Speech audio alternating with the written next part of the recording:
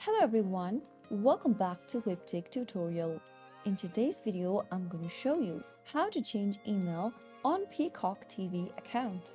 So let's get started without wasting much of our time. Launch open a web browser to get started and in the URL box type in peacocktv.com and search. Also make sure that you're logged into your Peacock TV account by entering your email and password associated with the account. After you are logged into your Peacock TV, from the main homepage, go ahead and click on the account button appearing at the top right hand corner. Now, in the account tab, click on settings. Scroll down and look for this email tab. Your current email address associated with Peacock TV will be displayed on the screen. Go and click on the update email button and an email with instruction will be sent to your email inbox.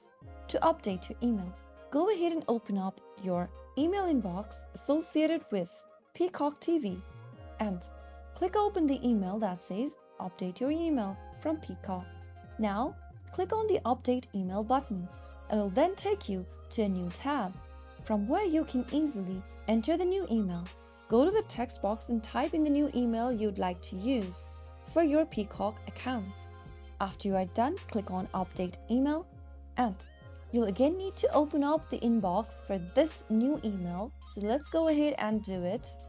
You'll now receive an inbox from Peacock stating that verify your new email address. Click it open and then click on verify email. And soon after you do that, you'll be able to change your email on Peacock TV. So that was how you can easily do it.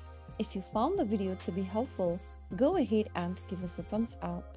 Don't forget to subscribe to the channel by hitting the subscribe button. Also press the bell icon so that you'll never miss another upcoming upload from us. I'll see you again in the next video. Goodbye till then.